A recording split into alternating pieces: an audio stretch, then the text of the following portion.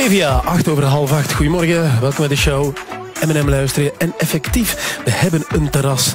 Een officieel terras. Want het was toch een dingetje hoor. Gisteren of van het weekend mochten ze weer open. Mensen met paraplu's die pintjes zaten te drinken. Om 8 uur s morgens al.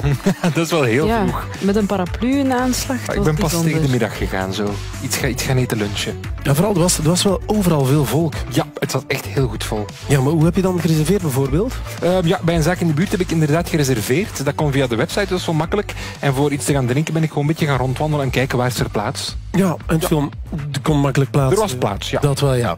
Eh, op dit moment kun je in de app kijken naar, eh, naar een, een terras. Het ziet, er, het ziet er prachtig uit.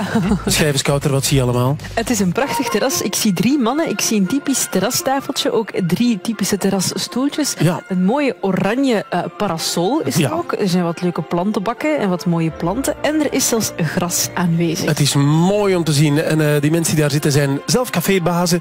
Die wel een beetje rust verdiend hebben natuurlijk. Goedemorgen cafébaas Erik. Goedemorgen. Je hebt ook eh, Ben en Jan meegebracht. Ben en Jan, goedemorgen. Goedemorgen. Goedemorgen. Jullie werken allemaal bij Bardot op de Oude Markt in Leuven. Ja, Erik, vertel nu eens, hoe was het van het weekend?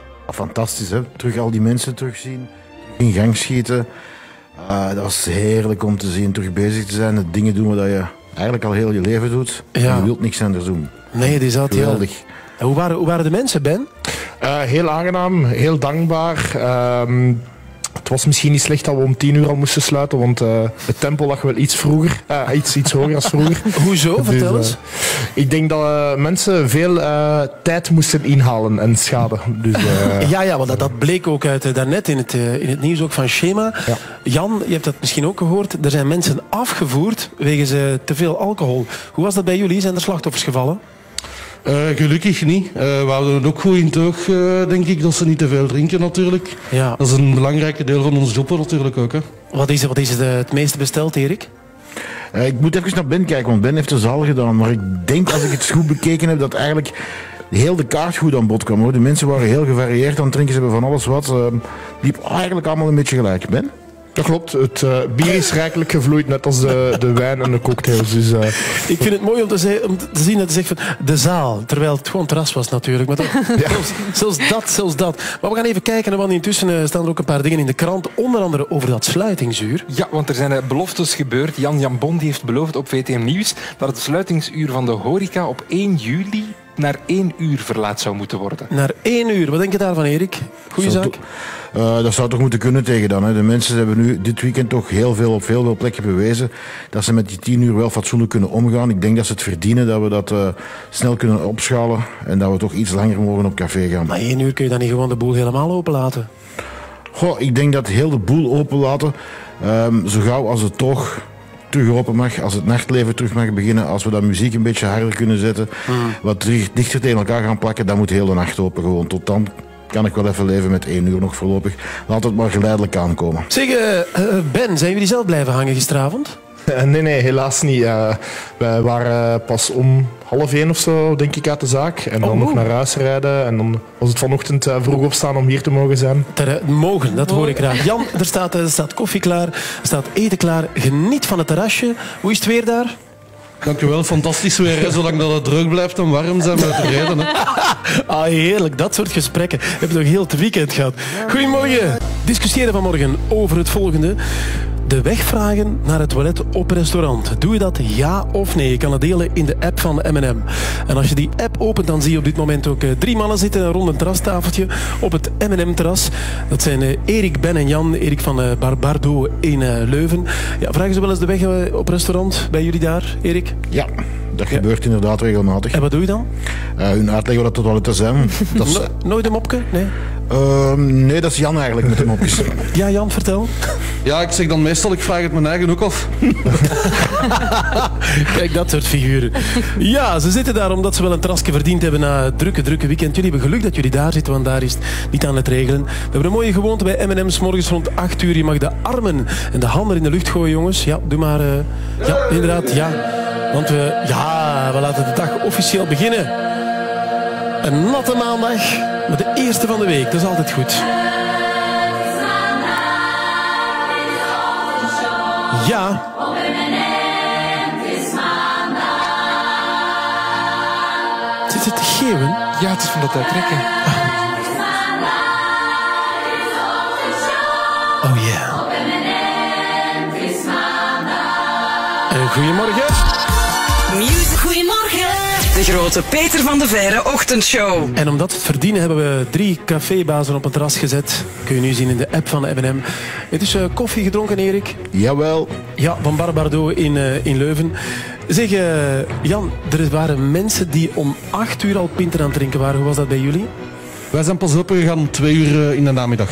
Oh, een half dagje. maar, maar, hebben jullie het terrassen gezien waar, waar mensen al zo vroeg aan het drinken waren?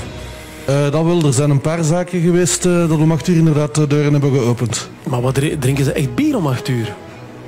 De Eh, diehards ja, wel. Sommige, sommige wel, zo'n symbolische pintje eigenlijk, om, om terug na zoveel maanden eh, een pintje te drinken. Maar dat- ik denk dat er veel terug zijn overgeschakeld naar koffie daarna hoor. Waarschijnlijk wel. Ja, intussen zitten jullie ook aan, eh, aan de Goeiemorgen koffie. Smaakt die een beetje? Zeg Top, ja. heel lekker. De stelling van morgen is... De wegvragen naar het toilet op restaurant. Ja. Ah, ja. Ah ja. Ik zou niet inzien waarom niet. Ja, je hebt um, ja, toch mensen die altijd gewoon eh, het zelf zoeken en dan uh, even los Maar dat is verkeerd super, lopen. dat is zo ongemakkelijk. Dan loop je daar zo Ja. tussen al die tafels en dan zien mensen u, u zoeken en dan moet je het uiteindelijk toch vragen als je het niet vindt. En volgens mij zijn er echt cafébaas die gewoon met opzet dat slecht aanduiden om mensen te laten rondsukkelen. Zo. Hoe zit dat bij jullie, eh, Erik, in jullie eh, in Bardo in Leuven daar? Dat is natuurlijk handig. Hè. Ik bedoel, als iemand de toiletten komt vragen, dan weet je dat het een nieuwe klant is. Dan kan je hem ook zo behandelen. Ah, oké. En eh, ja, dat is nog wel handig. Maar is dat goed aangeduid bij jullie? Nee. Nee, net daarom niet. Het is echt gewoon... 17 over 8, goedemorgen. Ja, het was toch een dingetje van het weekend. Terrassen vol mensen die vanaf 8 uur al koffie en bier zaten te drinken. En daarom eh, dachten we van, ja, we nodigen een paar cafébazen uit. Die, eh, die mochten ook weer open. Ze komen eh, uit Leuven, Barbardo. We hebben Erik, Ben en Jan. Ja, volgende week, Erik, dan, eh, of ja, vanaf vandaag is het terras dan ook open. Hoe zit het? Ja hoor, straks om twee uur zijn we terug van de partij. Oh man, hoeveel dagen per week zijn jullie open dan? Zeven op zeven. Amai. Oh, hoe doe je dat, Jan? Oh ja, veel koffie drinken na een korte nacht. Eh, dan lukt dat wel hè. Ja, maar ja, ben, en, en moet je dan zeven dagen werken, of hoe zit dat? Nee, we hebben eigenlijk nog eh, een vast team van drie mensen waar dat we heel hard op kunnen bouwen. En dan samen met ons eh, kunnen we eigenlijk die zeven dagen rondkomen. Ja, want hoe is, ja, echt zonder enige zever, Erik, hoe is, het, hoe is het geweest de voorbije maanden voor jou? Ehm, heel zwaar. Mentaal is dat echt een. Dat, is die, dat café is eigenlijk uw living. Dat is het tweede deel van uw leven. De, en dat valt allemaal weg. Dus ja. Wil we niet meer aan terugdenken. Dat is blij dat het voorbij is. Heb je er ooit over nagedacht om te stoppen? Kan niks anders. Ja, maar er is toch een moment geweest dat je zegt van, oh, ik moet iets anders gaan doen of stoppen, want dit kan niet meer. Nee, eigenlijk. Nee, de, die horeca. Dat zit, in, dat zit in uw lijf, dat zit in uw bloed. Eh, nee, echt niks. Ik zou niks anders willen doen. En we houden zo. We zijn blij voor jullie dat we weer open zijn. Dat mensen zo... Jullie maken mensen gelukkig, dat besef je toch, hè? Ehm, ja, eigenlijk wel ja. En ik denk dat de mensen dat nu ook meer dan ooit beseffen. Als ik ook hoor bij de collega's, de winkels en zo, die zijn allemaal zo blij dat we terug open zijn. Ehm, de horeca is zo'n wezenlijk deel van een stad. Ja. Dat maakt zo'n geheel. Eh, dus ja, dat is, dat is ook wel fijn om te horen. Dat doet deugd. De, de nieuwe vrijheid. Het is een, het is een heel bijzonder moment, sowieso. Dankjewel Erik, dankjewel Ben, dankjewel Jan. Eh, geniet nog een beetje van het koffietje daar op het Dank terras. u. En eh, een heel fijne ochtend.